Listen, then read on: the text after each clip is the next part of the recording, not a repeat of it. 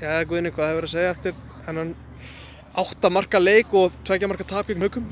Það er bara gríðarlega sárt að hérna, þetta skulle vera niðurstaðan.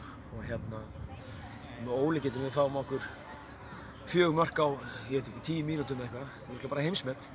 Og hérna úr fjórum, fimm sóknum kom fá þær fjögur mörg og hérna það var ansi það var ansi hérna brött brakkan eftir það og, og, og, og, og svo að fá á sig fymtamarki síðan líka í þeirra áleik, bara skellulegt, algjörlega skellulegt og það móti haugum, bara já, það er bara mjög þungt, það er þegar aðfangur í dag.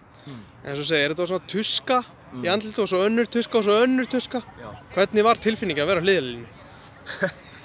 ég hugsaði bara hvað, er- hvað er ég að horfa upp á sko, í raun og veru, með ólíkittum og hérna, en þetta er stundu svona í veist, ég veit ekki hver ástæðan var þú veist, allt spennustug mögulega, ég veit það ekki en hérna, við þurfum að lifa með þessu Þitt lið kom tilbaka með þremi mörgum sem dugðu ekki en, en liðið var ógnandi. Hvernig leiðir í setnáleik fannst þér þið já, vera nálægt þessu? Já, já, ég, mér fannst hérna, ég hefði, sko, mér fannst það er raun og verið þannig liggja í loftinu að hvað vantaði fjóraðmarkið, ef að það hefði komið á 70. mínútu, þá hefðu við átt, átt góðan séns.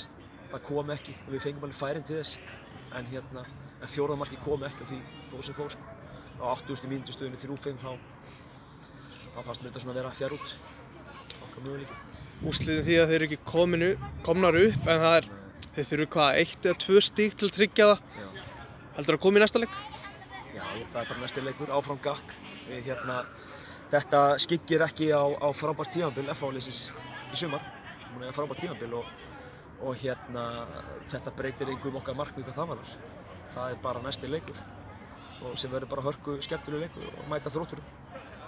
Það var hörkur stemning í stúkunni í kvöld og vel mætt. Hvað viltu segja við stuðnismenn Ég F? mist bara frábært og hérna, það búið að vera stígandi hjá stuðnismönnum FH og, og það er bara, bara ómyndarlegt að sjá hversu margir sína liðinu áhuga og þannig á þetta að vera.